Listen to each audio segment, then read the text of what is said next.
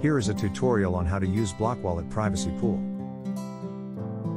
First you will need to log on to blockwallet.io then click the download button on the top right hand corner. This will take you to the Chrome store where you can install the wallet extension. Click Privacy on BlockWallet's main menu. Next click blank deposit to initiate a deposit into the privacy pool.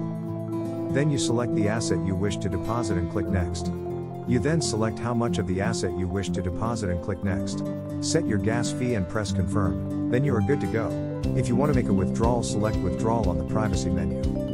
Select the amount that you want to withdraw and click on next.